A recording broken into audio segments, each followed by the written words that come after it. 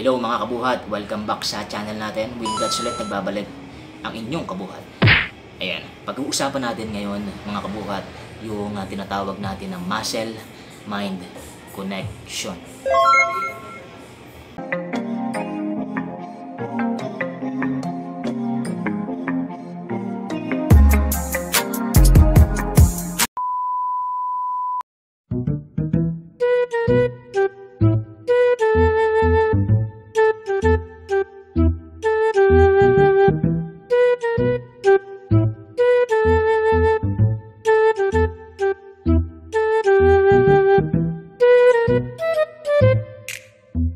Thank you.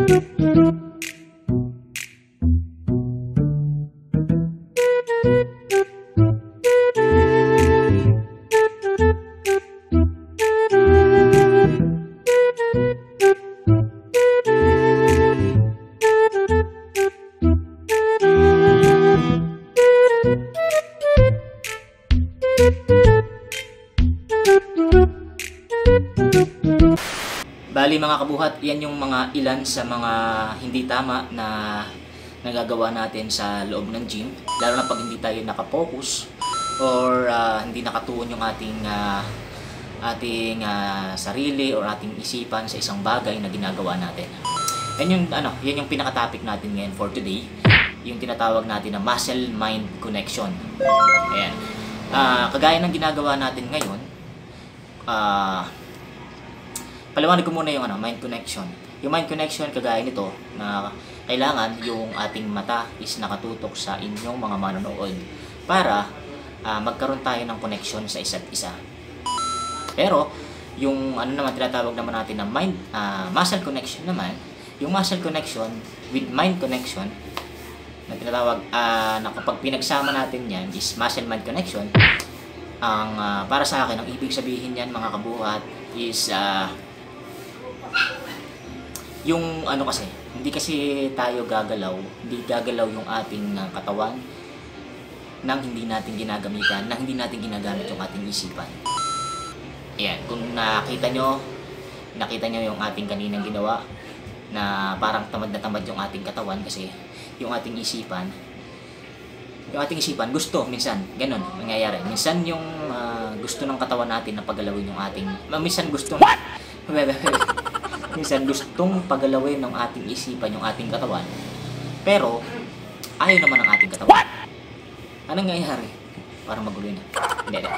Minsan, gusto ng ating ah, isipan na pagalawin yung ating katawan, pero hindi sila mag-connection, mag-connecta sa isa't isa.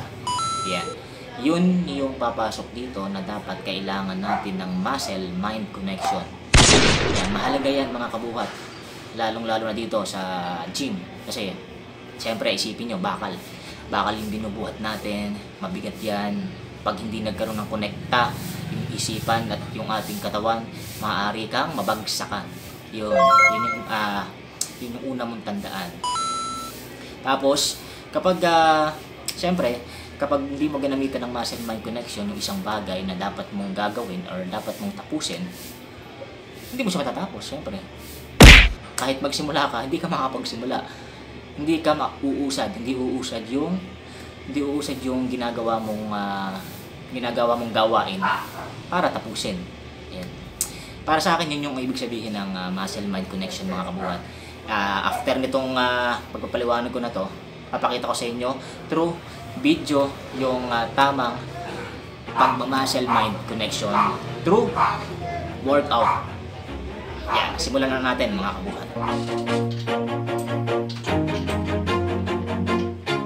Always do it on my own, so I gotta get through it. And the only thing I know is to love what I'm doing. Never give up, never slow, till I finally prove it. Never listen to the no's, I just wanna keep moving. Keep my head up when I act, head up that's a fact. Never looking back, I'ma keep myself on track. Keep my head up, staying strong, always moving on feel I don't belong. Tell my thoughts to move along. Push myself to be the best. Die with no regrets.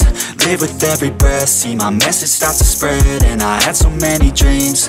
Then you hit your teens Life ain't really what it seems. Try to find out what it means. Always do it on my own So I gotta get through it. And the only thing I know Is to love what I'm doing. Never give up, never slow Till I finally prove it. Never listen to the no's I just wanna keep moving. Yeah, I put out all this art It's my only medicine, yeah. Everything I do, I'm just being genuine Yeah, I'm sick of being screwed Feel my own adrenaline Yeah, I do just what I do And I hope you let me in, let me in, yeah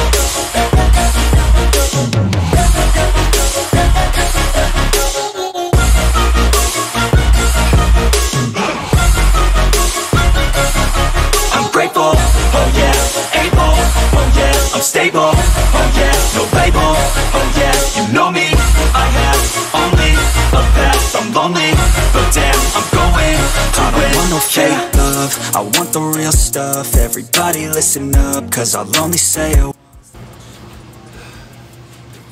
Ayan na, mga kabuhat. Ah, pinakahuling tips ko para sa inyo bago natin tapusin yung ating ah, vlog for today. Ah, tandaan nyo, hindi talaga magma-muscle mind connection yung ginagawa mo or yung gagawin mo kung alam mo namang hindi mo kaya.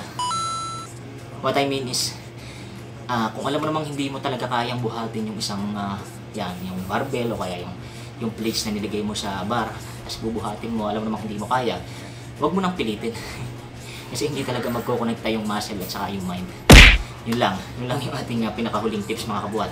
Kaya maraming salamat sa mga nanood dyan sa mga tumutok dyan ngayon, ngayong araw na to. Ah, sa susunod muli ng ating ah, vlog. Kita-kits muli. Maraming salamat at God bless sa inyong lahat